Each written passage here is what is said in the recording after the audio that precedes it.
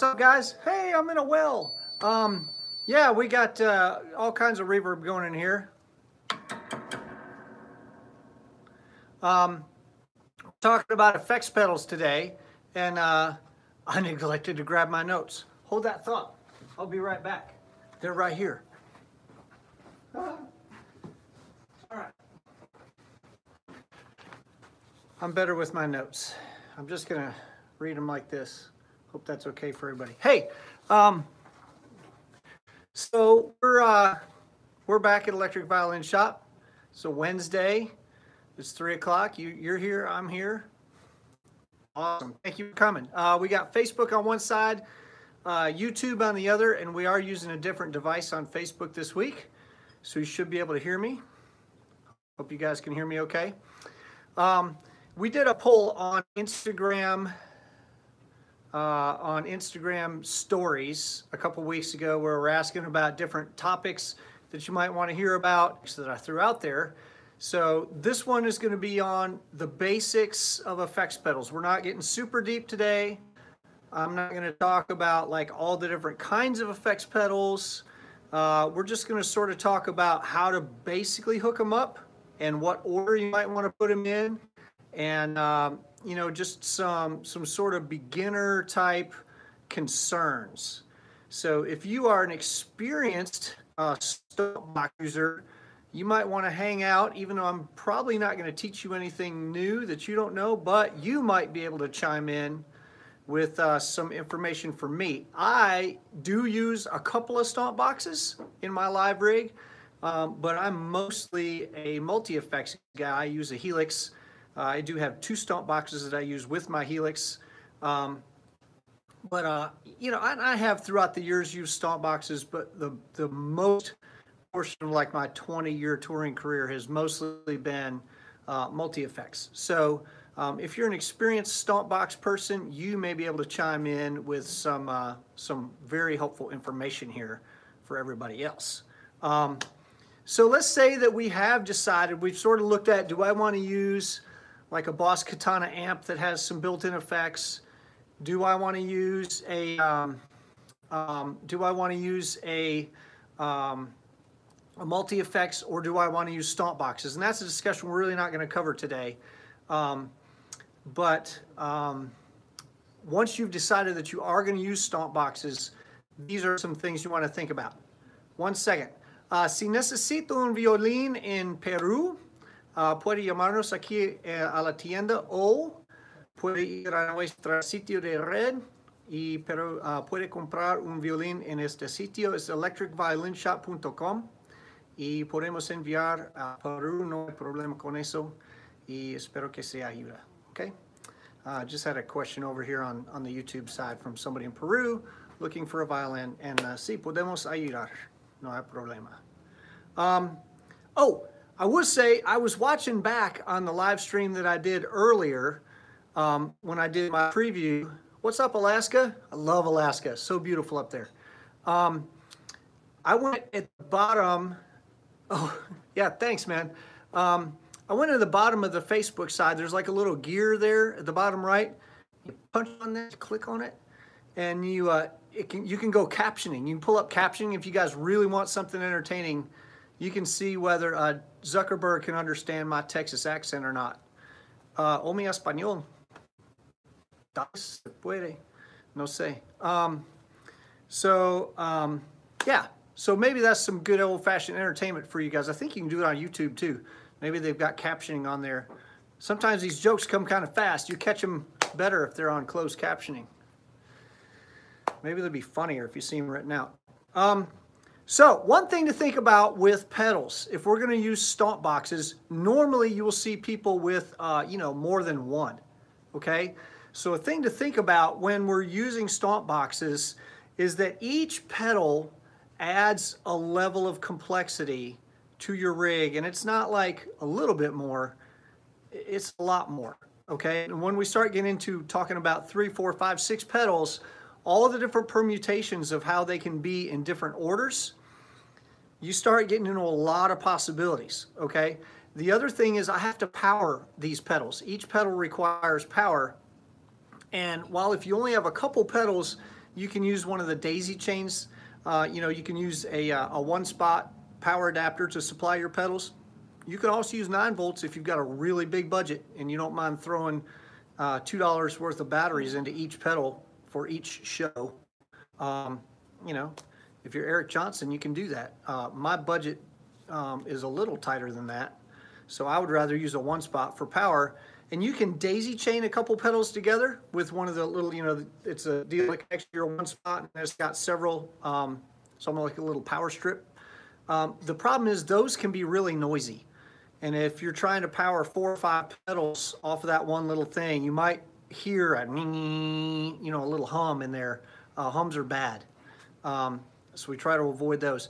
If you're getting a hum from your from the power of your pedals, if you got too many of them, you're trying to power off of one thing, you may need to buy an isolated power supply, which means that thing plugs into the wall and then it's got isolation where you're going to run a, a, little line from that ISO box to each one of uh, um, to each one of your pedals.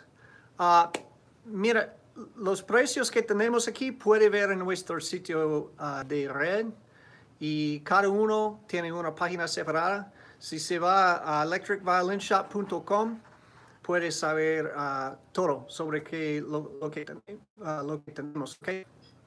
O puede mandar un correo electrónico a info arroba electricviolinshop.com.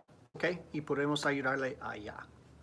Um, so yeah, we got to power each of these pedals. So power is a thing, and it can be a little bit complicated. Um, Uh, sí, puede usar el Google para, para traducir a dólares a la moneda uh, peruvia. ¿Ok? Gracias para, para venir. Um, so yeah, you got to power each of these pedals and that can kind of become a problem in and of itself.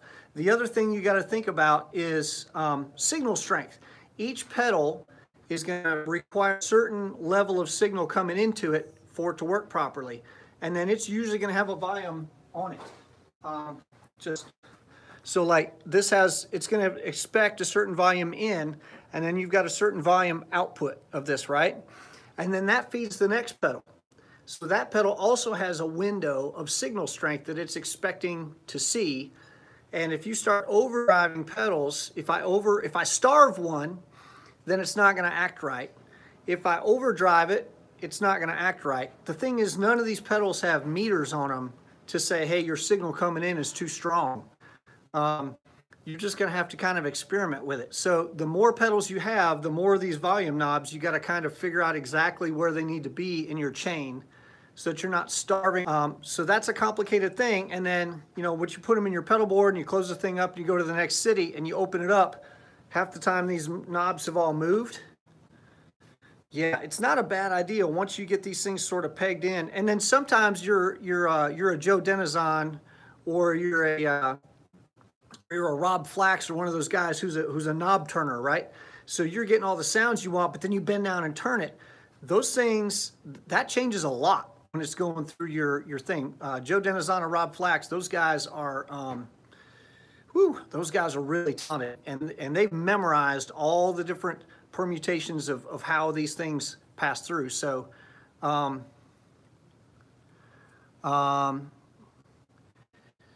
uh, Cesar, if you were going to start using a pedal, do you recommend start with a used or with a simple one? Um, yeah, I mean, that's not a bad idea to start with either used pedal or if you're just getting started, I would actually recommend a multi-effects uh, like an ME80 because then you don't have to worry about powering 10 different pedals in there. You don't have to worry about order. You don't have to worry about one thing starving or overdriving the next. You can just sort of experiment with different sounds. Um, if you're a beginner to effects, I would probably start with an ME80. Um, if you've already decided to go the route of stomp boxes, though, that's what this discussion is going to be about. So you got to make sure that your levels are right, that you're not starving or overdriving the next pedal. And then all those, again, they stack up. So you got to keep that going. Yeah, no problem. Um, so signal strength, what order you got them in, all the connections. Every time you have an analog connection here, an analog connection here, and then there's two cables, a cable coming in, a cable coming out, you have an opportunity for a problem, okay? Um, so if that cable comes unseated during transport, it may not even look like it's unseated. it may only, oops, I shouldn't have done that. Does it sound like it's unseated? Um, so it, it may only be out that much. That, that's not a good connection. You're either gonna get a hum or you're not gonna get any signal at all. And if you got ten of these on your board and you look down and you go, they're all plugged in. Well, yeah, now it's plugged in. So you could have a problem. Um, that can be really, really frustrating. So the more pedals you have, the more opportunities there are for that, okay? Um, and then each physical connection, you lose a little tiny bit of signal. There is some signal variation. If you, I don't know if you guys saw like the world record um, pedal board was some guitar player, probably a church guy, uh, had this huge like 400 pedal pedal board. Forget how he's powering that thing. All those connections to those things, I, I don't know how you get any signal through. You can talk about true, true bypass all you want, but if you've got 400 physical connections going from one place to another, that the reliability on that pedal board is low. Okay. Um, so all the connections, all those different cables, cables can go bad. They introduce noise into things. Um, it, it can be it can be an issue. Now I'm not telling you not to go with stomp boxes. A, a lot of people get amazing sounds out of their stomp boxes, and the only way to get those sounds is from their stomp boxes there are just a lot of things to be concerned with. It's not like, hey, we're just going to hook these up and go. Uh, Tracy Silverman and I just had a discussion. Uh, his podcast episode came out like yesterday or the day before. Uh, the Rockstar doing with your life. Um, please listen to the Rockstar Violinist podcast. It's really awesome. You can it's soundcloud.com slash rockstar violinist or find it on Google Play, find it on iTunes, you find it on Stitcher. Um, anyway, one of the things that Tracy was talking about is that it's just hundreds and hundreds of hours, thousands of hours goes into finding the exact sound that you want. Um, so people, hey, you know, what settings should I use? Man, I- I can maybe tell you what I'm doing to give you a, maybe a place to get started, but that came from hundreds of hours of experimentation. And what I think sounds good may not be what you think sounds good. And maybe we're going to a different amp or coming from a different instrument. Maybe I play lighter or harder than you do. So, what my settings are, it's kind of like asking me what, what my favorite shoe is. I mean, I like Chucks, but they may not feel good on your feet. So, um, you probably don't wear a size 13. So, um, yeah, it's it's all going to be things that you've got to figure out. Okay. Rule number one: if it sounds good, it is good. So no matter how you get to the place you're going, if you like the way your rig sounds, then that's good. So, you know, there are a lot of what we would I would say rules. There's not that many rules in, in here, except you know you should probably use 110 volt electricity if, if that's what your thing's designed for. Um, there are a lot more suggestions um, and maybe uh, conventions. We'll talk about like the way you would order your pedals here in a minute. That's more convention than it is a rule. And we'll talk about what some of the reasons are for that. Um, but if you like to do yours completely backwards from the way I do it, that doesn't make it wrong. If you're happy with the way it sounds, if it sounds good, it is good. Okay? That's the definition of good, is that it sounds good. Okay? Um, so, oh, I did want to talk about one more thing. When we're talking about individual stomp boxes, because each pedal that you add to your train adds some complicating factors. Uh, I got to power it. I got more connections. I've got to think about signal strength, order, all that thing. You know, so there there is a level of complexity that goes up every time you add a pedal. You got to decide if it's worth it. Okay, so minimalism may be uh, sort of the name of the game on pedals. We're not going to just throw a bunch of pedals in there because they're in my closet. Um, hey, I just won't use them. Well, you could be creating problems for your rig if you've got a bunch of pedals on there just in case. You probably, if you're a pro player, a touring player, a person who's doing this for money, um, you probably don't want to have a bunch of pedals on there just because you own them, because uh, that can create a lot of problems. Um, so rule number one, if it sounds good, it is good. Uh, I'm looking down because I forgot to tape my notes up here. I'm sorry. If you need a preamp for impedance reasons, and we've talked about this extensively in other places, I'm not going to get into it much today. The preamp has to be first. It has to be the very first thing your instrument plugs into. not not a wireless, not uh, you know, not anything. If if you need a preamp for impedance reasons, then it has to be absolutely first. Okay, and if you're using something, I didn't know if I had one sitting out. If you're using something like a Baggs, uh, the Paracoustic DI that also has the XLR output, so I need that to be first and I need it to be last if that's my DI. So gosh, how do I do that? Well, there is an effects loop in there. And I guess I should talk about um, what a insert pedal or an insert cable is. An insert cable, mute it over here. All right. An insert cable, if you look at this cable here, this is a mono cable. I've got a, I've got a tip I've got a sleeve. Okay, it's a mono cable. There's only two connections here. There's two wires inside here. An insert cable will have a stereo plug on one end, which means there's another ring around here, and it's called tip ring sleeve. So there's a tip, a ring in the middle, and then a sleeve. That's, that's a stereo cable. It's got three wires in it, which means I've got a hot, I've got a plus, a minus, and a neutral, okay? So in a stereo cable, you can actually simultaneously send a signal down and back on that same through that same connector because there are three connectors inside the Paracoustic DI on the effects send. Okay, so you see some will have an effects send and return. It'll be two separate jacks. And then some will just say effects loop and it's only one jack. You need a stereo. And if you go to, um, I'm not going to name it, but it rhymes with Mitar Schminter. If you go to that horrible place and uh, ask them for an insert cable, there's a 20% chance they'll even know what that is. But it'll be a stereo jack on one end, and then it'll it'll split and go to two mono jacks like this on the other end. So you go into the insert portion of your your Baggs DI, and then you'll have uh, one will say tip and one will say uh, one will say ring and one will say sleeve. You'll have to experiment, and you'll figure out which one's in and out because when you put it backwards, it won't work at all. Uh, so, okay, that didn't work. So you flip it and you know, okay, that one's in, this one's out. Um, so then what's happening is it's sending out, going to one, to one pedal, and then it comes back, goes back through that same cable back into the Baggs. Hope that makes sense. Um, so that's what's happening if in your effects loop of a preamp, if it only has one jack. You need a insert cable, stereo on one end, dual mono on the other, okay? All right, I forgot that I had to get into that, and I didn't have any notes. So, um, so it is totally legal to. Um, thanks, Rob. Um, it is totally legal to try running your pedals in any order that you want. And if you like that, fine. If you want to change orders around, that's fine. It won't hurt anything to, to change the order of your pedals. Worst case scenario is it sounds bad. Okay? And that's not the end of the world. You're going to do a lot of stuff in your practice room that sounds bad. Um, you should be doing a lot of stuff in your practice room that sounds bad. You're going to sound bad somewhere. It should be in your practice room, not on stage.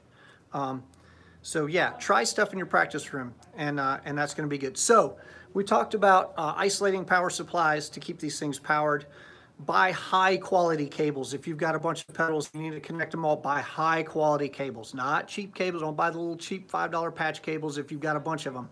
Because uh, you know what cables do? They go bad. So buy expensive, like the monster cables that you can make your own and stuff. That's what you're going to want if you've got a bunch of pedals on your board. And then have a couple of spares. And get there early and plug your stuff in to make sure it's working because you're going to be doing a lot of troubleshooting. So just be prepared for that. Oh, and if you've got your, you okay, let's, okay, you know what? Here's another thing I didn't have on my notes. Notes are stupid anyway. Um, let's talk about pedal boards. Rather than coming in with five or six loose pedals and then a bunch of power wires laying all over, we hook this up, and I'm gonna hook all the, you know, I'm gonna hook all this stuff up when I get there. Least professional thing ever. Please, please do not do that. That's, oh God, that's awful. Please don't do that. Get a pedal board. And you can make a pedal board out of, out of anything if you don't if you don't want to, to, you know to go buy a pedal board. I mean you make one out of a cutting board if you want. Just take your mom's cutting board tell her I said it was okay. Uh, it'll be fine. She can send me a note whatever. Um, just grab a, something flat and you can put some velcro or there's this other stuff um, I got it at uh, Bohm Beepo. They're not paying me, so I'm not using their name, but it rhymes with Bohm Beepo. Uh, you can go there, and it's like a 3M material. It sort of looks like Velcro, but it's you got the rough side of Velcro and then the soft, furry side. This stuff looks like the rough side on both, but the rough on both sides they lock together. It's uh, I forget what it's called. Rob might remember. Um, but the, it's man, it's five times as strong as Velcro. So use that to lock your pedals down. Um, yeah, I mean, there's there's a bunch of different ways to do this. Velcro is generally not strong enough. Um, the one that I use, I actually have to keep a, a, a knife or something so I can pop my pedals off because you can't just you can't just pull on them; they won't come off. You have to reach under and lever them off. Um, but uh, yeah, use that to lock your pedals down. But know that you are probably going to have to leave enough space in between them to be able to get your pat cables in and out, or you're going to have to be able to pop those pedals off the board.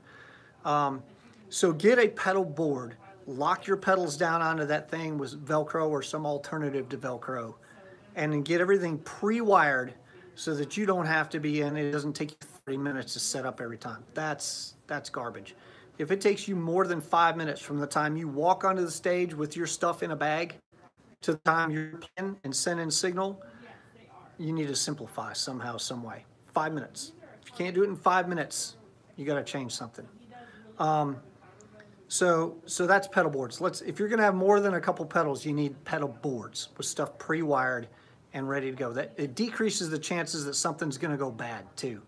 Um, you know, because if that cable's in there and it never comes out, it's less likely that you're going to have a goofy connection. Okay. So let's talk about the order of pedals and why that matters. Um, let's do this. All right. So I've got a organ machine and a reverb. All right.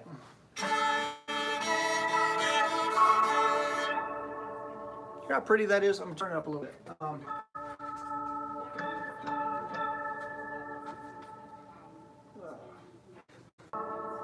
hear that nice wash that comes after that? I've got the organ pedal running into the reverb. Let's switch that just for fun. And gosh, what difference could it possibly make if I, see, I'm coming out of there into here, out of here. Okay. And then I'm out of here into here. So now I'm running from into the reverb first and then the organ pedal. Gosh, what difference could it make? Reverb first, organ pedal first, who cares, right? More or less sounds the same, right? Except, listen to the end. You hear how that, that reverb is sort of garbly? It's because the trail of that reverb is now feeding the organ machine, and you're hearing what that organ machine actually does. Um, you don't want to hear that. Well, I mean, maybe you do. And that's the thing, there's no rules. If you like this sound better, hook it up that way. Me personally, I would do it the other way, and we'll go back. Go back to the other way. Out of the wireless, into the organ machine. Organ machine into the reverb. All right, unmute the amp. Okay, here's here's what I hear. I like to hear that clean reverb sound instead of maybe you like that. I don't know. That's fine. And if that's what you like, then hey, run it that way and hope they keep paying you. Um, so that's what it means to run one. Why the order matters. Okay. I'm going to do another example because uh, examples are fun. Let's uh, let's do. I had a big muff in my hand here. Let's run into that. Let's go from the organ machine into the big muff. Because, you know, a lot of times those rock organs, they actually put distortion on those things, right? You know, you got, yeah, the organ sounds nice. It's a little bit, a little churchy maybe, right? What if we want it to be a rock organ? Put some distortion on that thing, right? So here we go. Let's see, what went wrong here?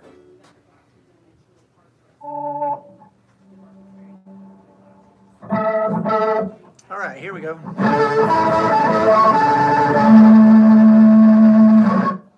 Right, so that's one way. That's pretty crunchy. Um, let's hear some more of that.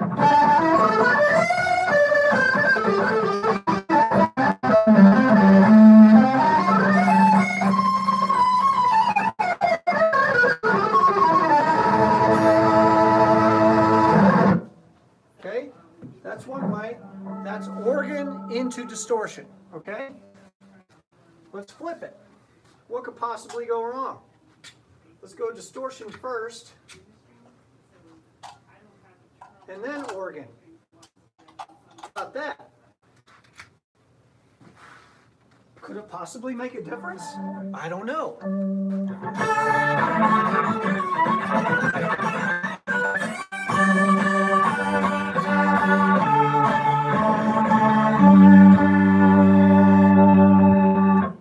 Lot more intelligible to me. The other way was it was like it was too dirty.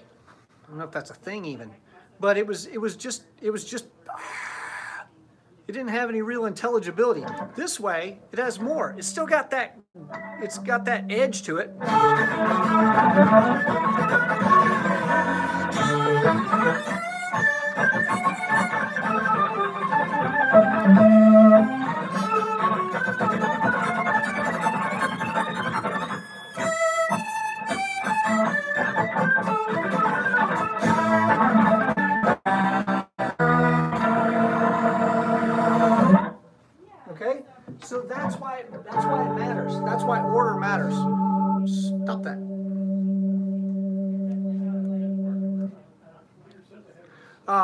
That's why order matters, okay? Because feeding a distortion into an organ machine is different than feeding an organ machine into a distortion. And it's also the same thing. Oh, Daniel, hey, what's up, buddy? Um, been falling in any swimming pools lately? People fall into swimming pools when I'm at the pool party because I hip check them. That's what I do. I throw people into pools. I'm sure that surprises every one of you guys. If you are at a pool party with me, you should probably leave your phone in the car. Unless you got a waterproof phone, because you're probably going in the pool. Um, that's why it's there. We didn't put the thing there for people who are not swimming it. I don't care what you're wearing. Um, anyway, so yeah, feeding an organ machine to a distortion is different than feeding a distortion to an organ machine. And then organ to reverb was different than reverb into organ. And you can tell as I get seven or eight pedals on here, all of a sudden all these orders, there's a lot of different ways to hook them up. Well, you know, it's going to take some experimentation on your part to, uh, to make that happen. But here's where I go when I do mine, okay? Preamp, obviously, if I need it for um, if I need it for uh, impedance reasons, obviously we've already talked about it has to be first, first, first, first, first. Otherwise, you can use your uh, preamp for EQ or for tone, and you can put it wherever you want, okay? Um, but if you need it for impedance reasons, it has to be the very first thing that you plug into, okay? Then I go tuner first, except. Um, and, it, and if, uh, if you guys aren't hip to the whole tuning pedal thing, bro, you got to get a tuning pedal. Um, first of all, um, especially if you play extended range like I do, I've, I've got a six string. Um, if I tune to A440 and then I try to use my ear to do the rest of them, it turns out that the perfect fifth is actually slightly larger when you tune it by ear. That interval is actually slightly larger than what equal temperament would have you use. Okay, so if I'm tuning A, my A is at 440 and I'm going to tune to a D using my ear, that D is going to be a little bit flat compared to a D on a tuner. And then when I tune the G off of that, then it's going to be a little flatter. And then the C is going to be a little flatter, and the F is going to be flatter. By the time I get down to my F, I'm probably a quarter step flat. Um, so the uh, the issue with that is that all the guys in my band are using tuners for all six strings of their guitar. And a keyboard player, if I have one, heaven forbid, he's using equal temperament tuning. So we can talk just temperament all you want and how, hey, that's how Bach or Mozart would have done it. Well, Bach ain't in my band. And if I'm out of tune compared to the guys in my band, who do you think is going to get looked at, them or me? Me. So um, You want to use equal temperament. Make sure you're tuning each string with a tuner if you're playing in a rock band, not tune A and then use your ear to do the rest, okay? Because you're actually going to be out of tune compared to the people in your band, and that's a whole nother discussion. But if you want to get paid, use a tuner, okay? The tuner goes first, first, first, because all of these different things, you hear that organ wobble, or what do you think that's going to do to a tuner? Your tuner is going to have no idea where your A is. Tuner is first, first, first.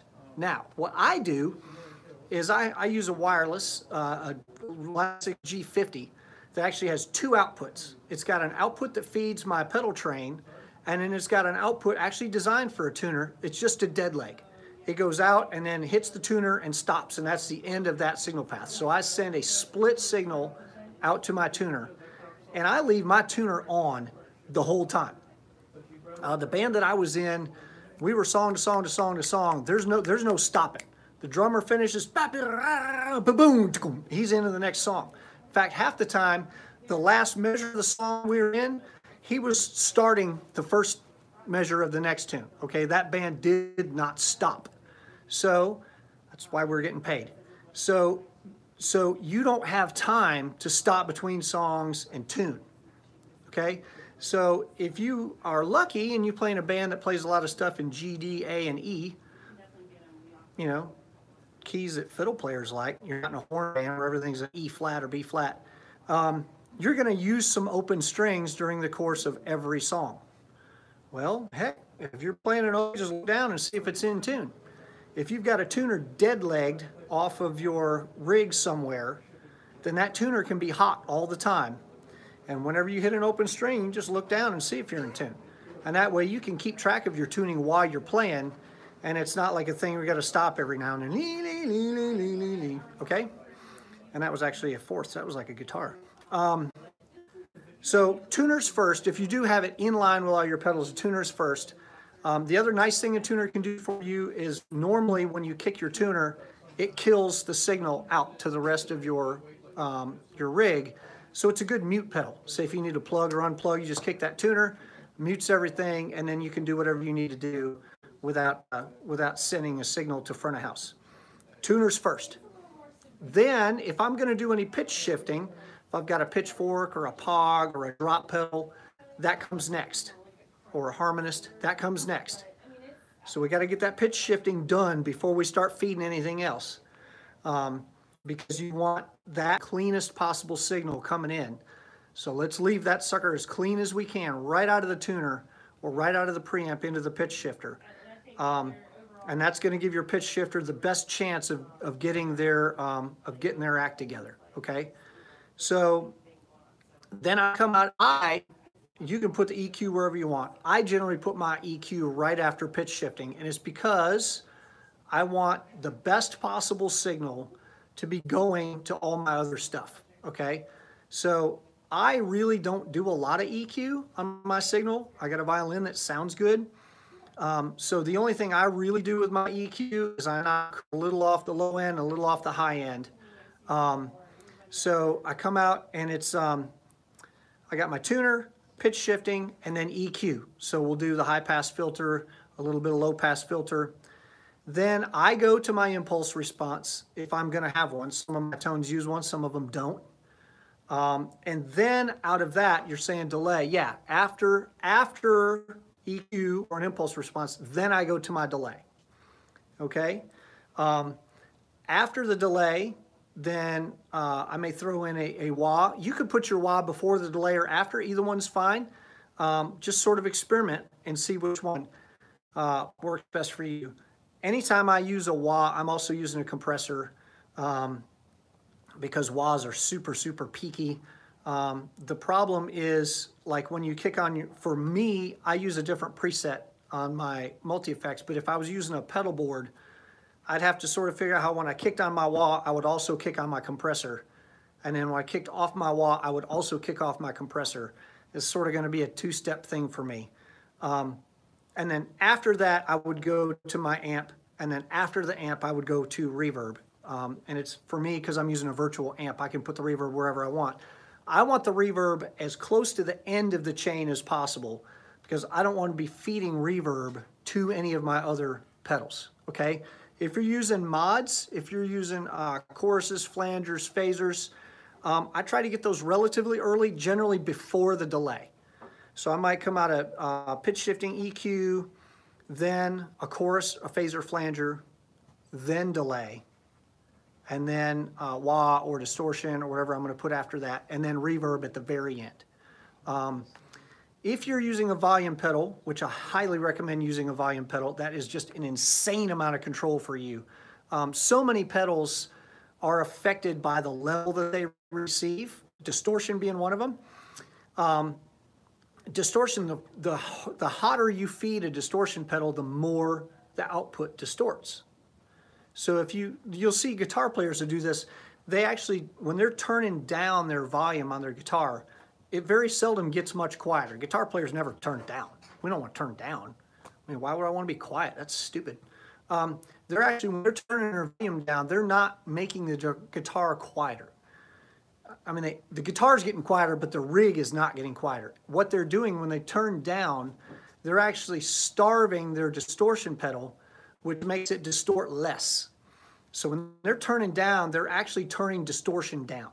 It's just cleaning up their sound. And then when they turn up, they're dirtying up their sound. So they'll usually be set so where that distortion pedal is, you know, it can accept a wide range of, of signals, but it's only going to pass a little bit. And we talked some about this last week uh, in the compression thing. Distortion pedals have a lot of compression in them.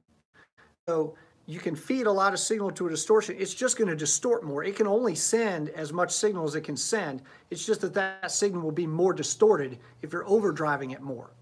Once you clean, once you lower the input signal, it doesn't, it's still sending full signal. It's just cleaner than it was. So you can, because guitar player can actually get away, he can hit that thing and then turn, right? I actually have to bow the whole note. So instead of being able to reach up and turn my volume knob on the violin, I will use my foot to do that. So um, you've got a nice mute on your tuner that's, that's a hard cut. You very seldom want to do that though, except for between songs. I like to use my volume pedal to, to be able, at the end of a song, I can actually rock back on that and create sort of a nice fade. If I'm in a slow song or something, um, I can actually get a studio fade and I can still play with some authority and I can get all the timbre that I want. But as I'm rocking back on that volume pedal, my volume is dropping, okay? I can use that on my distortion patches. I put my volume pedal before the distortion pedal or the, or the amp so that I can clean it up or dirty it up just by using that volume pedal. Um, generally on my rig, I've got the volume pedal all the way at the end, even after um, reverb, so that I control, like, if I want the whole, my whole signal to come down, even after the reverb, I've got control of that. I can shut it off. Um, there are times though, maybe I want to kill my dry signal and just let that reverb ring out. In that case, I would put the volume pedal before my reverb. Now, in a multi-effects that you can program, I can have different um, presets where the volume pedal is in different places in that chain. If you're hardwiring your, your, your rig, stomp boxes you're gonna have to decide where the volume pedal goes and that's just where it's gonna have to be. Um, I've seen people use multiple volume pedals. Maybe I've got one near the beginning and one at the end so that I can starve or overdrive certain pedals with my volume in, at the beginning, and then I can control my volume at the end. That's totally legal thing to do. You can have more than one volume pedal in your rig if you want. Um, so that's where all that is. When you're trying to decide, am I going to feed a flanger to a delay or a delay to a flanger, just think about what each one of those pedals does. Do I want my delay, do I want it to be flanged or not? You know, so, or do I want it to be the other way around? Do I want a clean delay? So you just have to think about how all these work together. And then, you know what? Try it. Try it one way and then try it the other. Honestly, this, this thing that I just did with the distortion and the, uh, the organ, my first thought when I started this was that I was going to like organ into distortion better. And I plugged it in and I went, wow, that sounds terrible. So I switched the, I switched them. I went distortion first and then into organ. And I went, oh, I didn't expect that. That's better than, that's better than I thought it was going to be. Um, because generally, um, I would have assumed that, you know, you'd want that organ sound, then we'll dirty it up a little. Um, it turns out it sounds better if you dirty it up and then send it to the organ machine. Who knew? Um, there's not any way to know for sure until you try it. So try it. Um, when you're playing, the organ is a perfect example of this. You want to think about what that effect does. Um, you can't just play, hey, I want to sound like an organ. That's not what an organ sounds like. Organs can't do that. You can't have one note. You know, you've got bend wheels on them, but you can't bend one and hold the other. Doesn't sound like an organ. There's no way that sounds like an organ. So you have to think like an organist thinks, and you have to understand what the constraints are that an organ has that a violin doesn't have. They can't really.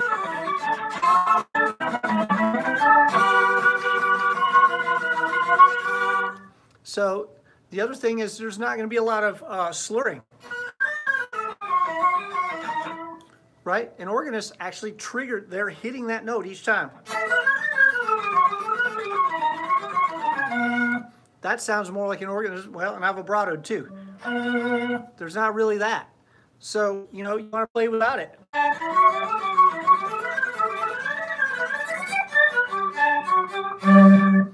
Uh, the other thing that makes an organ, and this is the thing that, um, on this particular pedal, it sounds a bit like an organ with one note.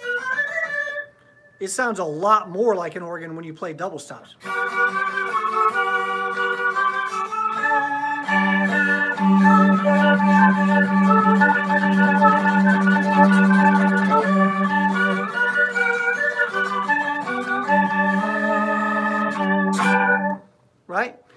Experiment with that pedal and like, how do I make it sound like what I want it to sound like? Okay, distortion is the same kind of thing. You wouldn't just turn distortion on.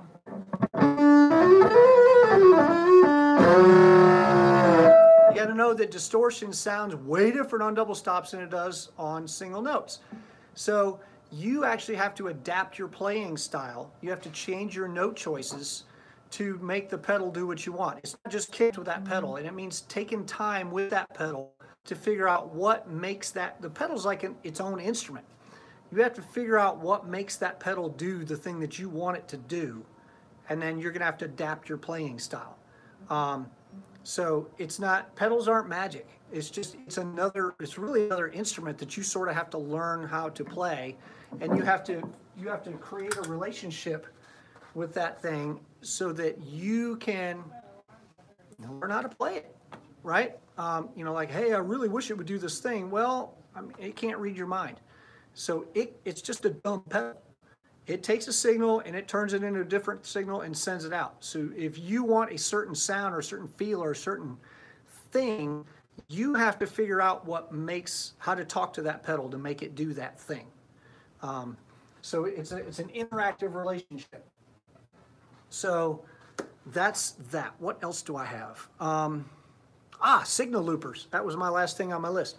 Um, there's a thing. So we all know about loopers, right? Where I can come in and you know do my little chopping thing, and I kick it, and it just rolls that chopping thing, and I solo over it.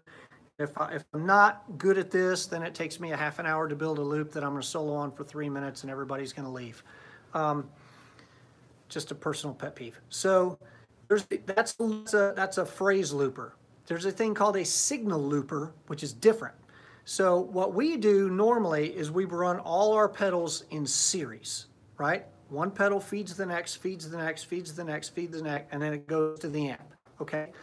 A signal looper will allow you to run your pedals in parallel, which means that my chorus does not necessarily feed my reverb and then feeds my delay and then feeds my amp.